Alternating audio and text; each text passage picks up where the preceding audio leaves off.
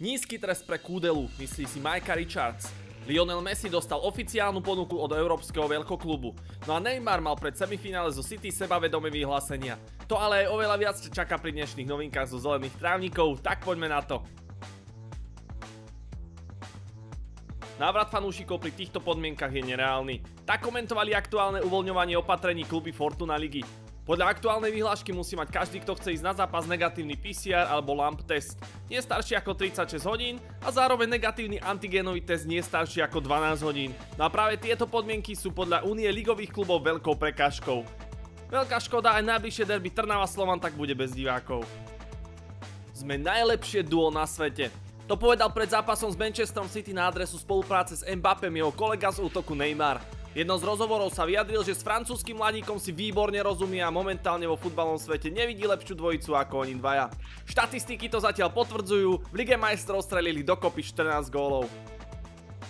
Ryan Giggs má ďalší problém so ženami. Tentokrát čeli obvineniu z napadnutia jeho bývalej priateľky a jej sestry. Všetko v stredu poprel na súde, no euro už definitívne prišiel. Nebol to jeho prvý ženský prešlap, jeho aféru s prebratím ženy bratovi pozná si každý. Neprial by som ťa ani Tottenhamu. To stalo na jednom z transparentov fanúšikov Arsenalu, ktorí protestovali proti americkým majiteľom a žiadali ich odchod. Okrem nich bolo rušno aj Manchestri, Ultras Červených diablov zablokovali tréningové centrum a rovnako sa tak postavili vlastníkov z USA. Všetko to samozrejme odštartovala účasť klubov v Superlige. Neskorší odchod im už ale nestačil a obidva tábory takto naplno vyjadrili svoj nesúhlas. Vyzerá to tak, že megalomanský projekt spravil viac škody než osohu. Paris Saint-Germain sa len tak ľahko nevzdá a bude bojovať o Messiho. Na Instagrame známeho futbalového portálu Transfermarkt sa objavila správa, že parísky veľkoklub dal Messimu na stôl novú ponuku. Argentínsky klenov neprežíva v FC Barcelona najideálnejšie obdobie a s prestupom bol skloňovaný aj minulé leto. Súčasná zmluva mu vyprší po sezóne a zatiaľ nič nenasvedčuje tomu, že podpíše novú. Takže by sme budúcu sezónu videli spolu trio Messi, Neymar, Mbappe. Všetko má v rukách 33-ročný útočník. Veľký návrat na Old Trafford. Okrem Messiho by mohol cez leto meniť dres a jeho najväčší rival Cristiano Ronaldo. Turínsky golostroj je momentálne najviac spájaný s návratom do Manchester United. Špekuluje sa, že tam, kde to všetko začalo, by mohol ukončiť kariéru, aj keď pri fyzickej kondícii a životospráve Ronalda by som sa vôbec nečudoval, keby to potiahol do 45 tak ako chára v Bostone najhroznejší prípad rasizmu, aký som kedy videl. Napísal na adresu Ondřeja Kudelu pre anglický denník Daily Mail bývalý hráč Manchester City Micah Richards. Skritizoval prezidenta Alexandra Čeferina, ktorý podľa neho bojoval oveľa energickejšie proti Superlige ako proti rasizmu. Podľa neho dostal Kudela nízky trest a nepáčilo sa mu ani to, že potrestaný bol kamara, ktorý sa podľa neho len bránil. Ťažko povedať, či by bol taký kritický, aj keby bol na strane Kudelu. Cez víkend sa odohralo finále anglického ligového pohára. Pre takmer 8 tisíc divákmi vo Wembley sa proti sebe postavili obhajcovia z Manchester City proti Tottenhamu.